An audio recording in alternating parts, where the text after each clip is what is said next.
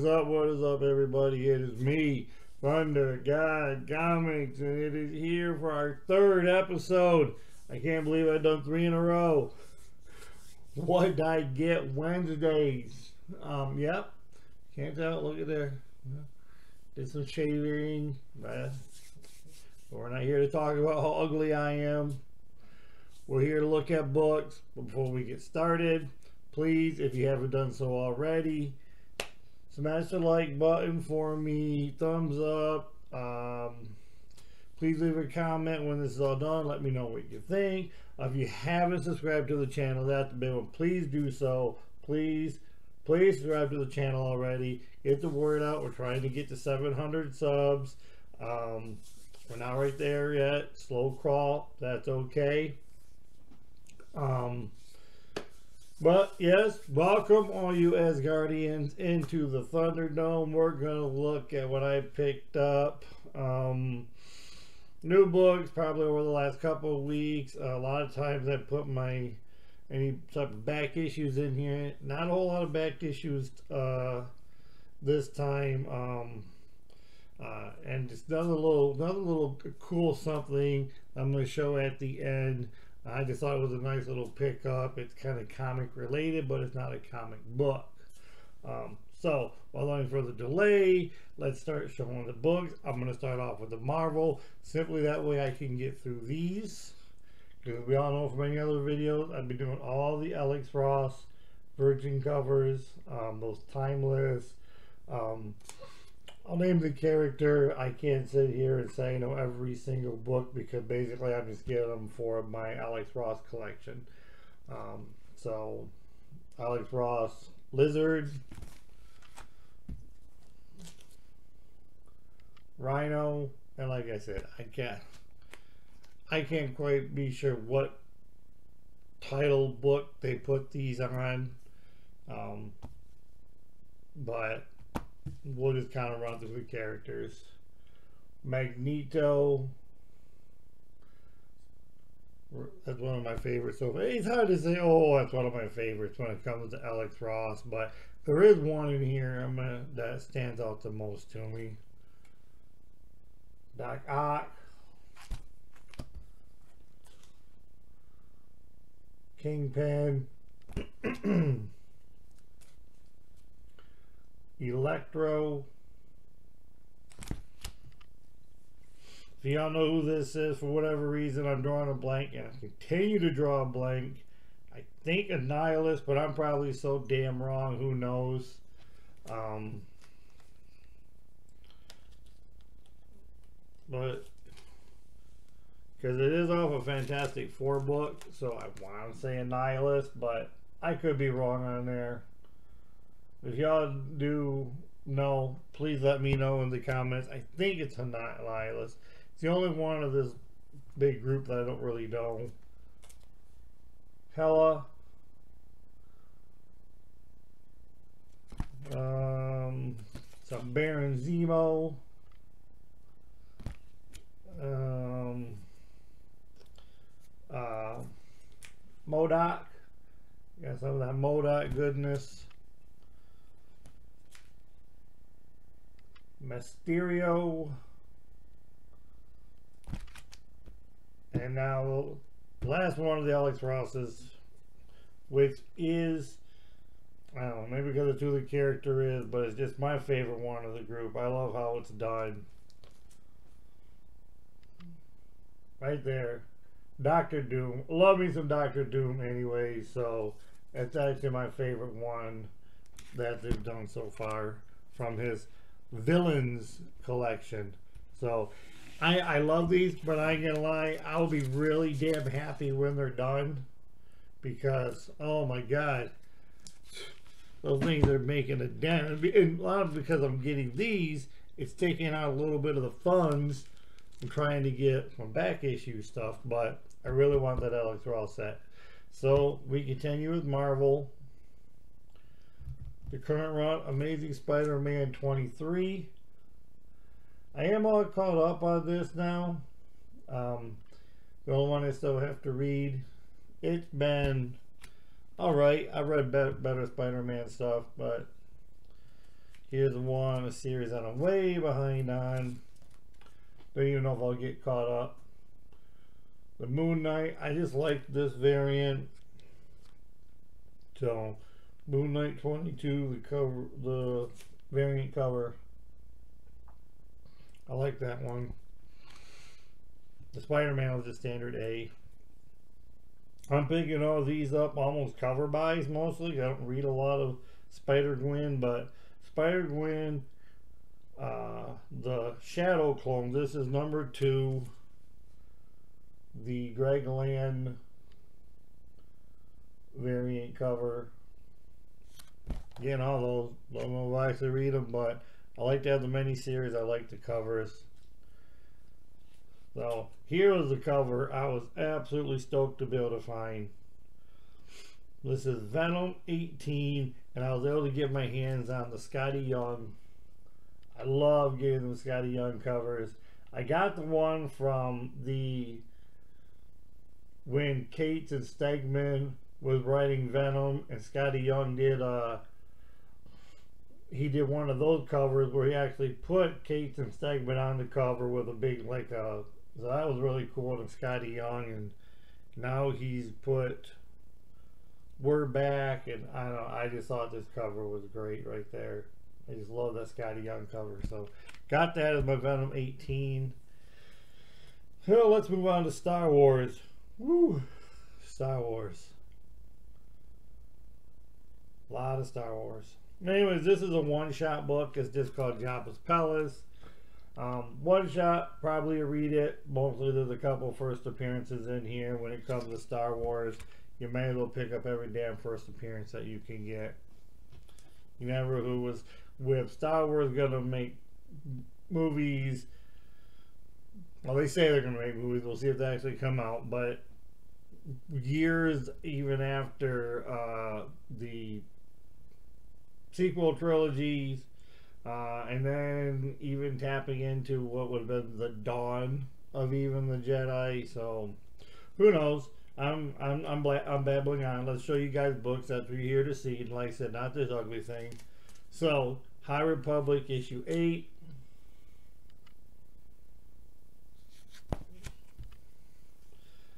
And then these I've been collecting, trying to get the whole set of these right here. It's the 40th anniversary covers. So Star Wars Bounty Hunters number 33, but it's number 11 out of 40. Because the 40th anniversary Return of the Jedi. So trying to get all those, which is fine because trying to get all Star Wars. And then Dr. Aphra issue 30. This would be number 12 out of that uh, uh, 40 issues. So I like I have never read any Dr. Aphra, but a lot of her books just kind of give like whenever they do those uh, anniversary covers like this because they've done one for Empire Strikes Back as well, just different things like that. And so I have a lot of Dr. Aphra because I have to get them for the cult set. All right, what do we got now? Oh, my last Marvel book, I think it's a couple weeks old. This might be more than a couple weeks, is because I kind of going back. I was going back and forth, that I want to buy it, and I don't want to buy it. Um, it's the Amazing Spider-Man 129. First appearance of Punisher, but no, no, no, don't get too excited. The only reason I picked this up is because after debating back and forth, there's no way that I don't ever think Thunder is going to be able to get the real first appearance. So you can see by the tag right there. It's just the facsimile that recently came out. I wasn't going to get it, but I'm a massive Punisher fan. Well, original Punisher. Um, what they're doing with the character right now, not a big fan of, but and especially changing up the original design. I, that that's just effing stupid to me. That's just dumb. Just keep the original design. It is what it is. So the facsimile one ASM 129 first. I, I, I did it because I kept sitting there going, you know what? I think I'll ever get the original. So the facsimile works for me. I mean, I've done that with uh, X Men 1, Fantastic Four 1, uh, Amazing Fantasy 15. So sometimes you just got to get the facsimile because we're not millionaires. Not me, anyways. Alright, so on to DC. On to DC. Um, Batman The Adventures continues season 3, issue 4. So season 3, issue 4. I actually do read these. These are decent because I was such a fan of the animated uh, show. These do a good job considering they're, they're written and they have art done by Burnett and Dini, who you know the creators of the show. So they do a good job of really making the inside of the book look like the Batman. So been reading that. They're pretty good. Next is, of course, the current ongoing Batman, uh, issue 134. Just to cover A on this one.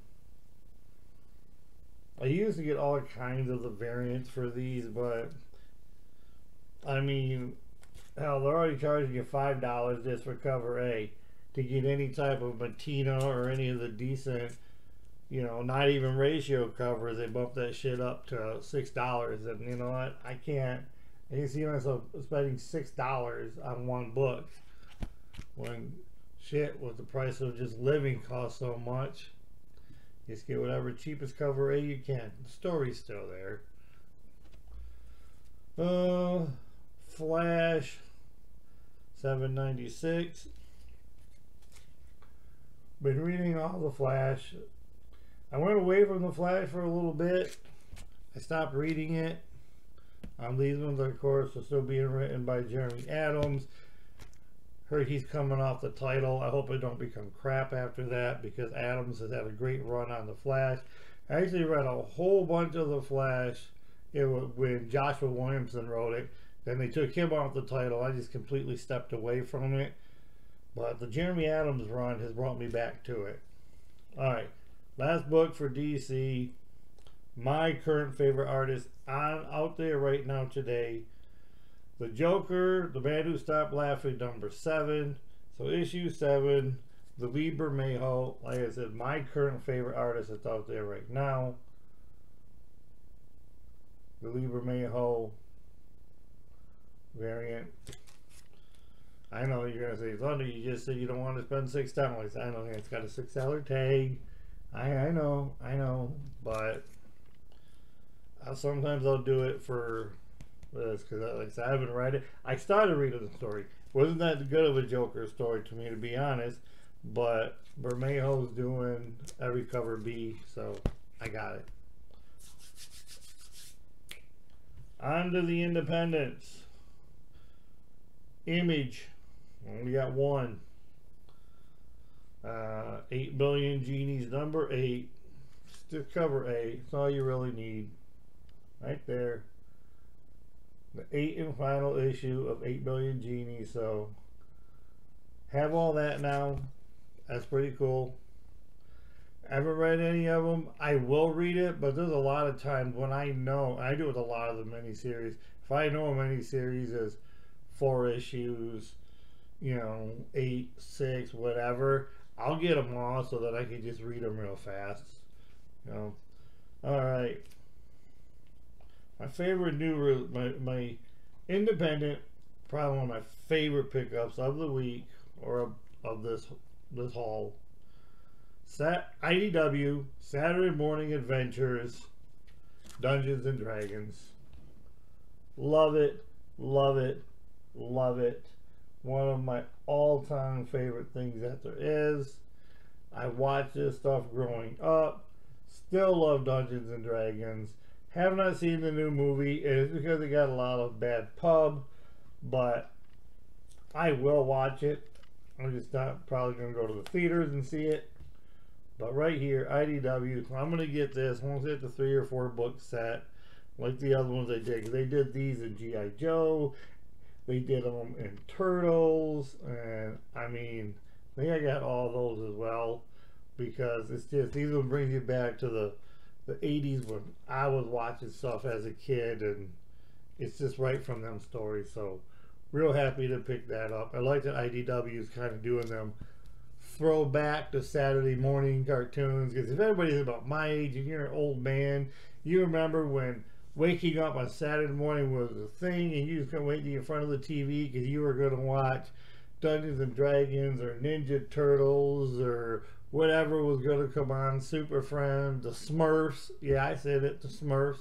I said it. I watched the damn Smurfs when you're, you know what I'm saying? So, I like that they do those. All right. So that's everything that's new. That's everything that's new. And if you wait, if you hung out this long, whether you're watching here on YouTube or you're gonna or paying uh, watching on the Instagram because everything knows I go ahead and kind of put videos out there for uh, each type of you know different media that people want to watch. Watch on my YouTube channel, watch on Instagram because I'll post the same video. You hung around this long, you're down to the last two books. My only backstock issue that I got was a Dark Horse Comics. This was Star Wars. Star Wars The Clone Wars issue 3. Um, can, I guess it's considered the um, third ever appearance of Ahsoka. Got is a really good price. It does have a couple uh, color breaking ticks along the spine, but I was okay with that because from what I was looking at on this, it looked to me, and if I'm wrong, correct me, folks, but this is a newsstand edition where it's a Star Wars universe. I think I seen some other, not, I think I seen some others, and it said direct edition right there. Plus, when you look at that barcode, it doesn't have like only the three numbers where it would say like 311 for like issue 3 first print, stuff like that. So, got it at a great price. Really excited about having this. I'm on the lookout for issue 2. Like I said, this is 3. I'm on the lookout for Star Wars Clone Wars number 2, the Tenno uh, second ever appearance. First appearance, meh, meh, probably not. That's that Clone Wars issue one. It's seven, eight hundred dollar damn book at this point. But when you get the two after that, I'm happy. So that's my main. That's not old, old, but still backstock issue. But here's the thing I found kind of comic related. Hopefully you stuck around long enough to see this. This right here was um, it actually in the grocery store. Went to the checkout. You know they put the magazines rack right there. So this is magazine size.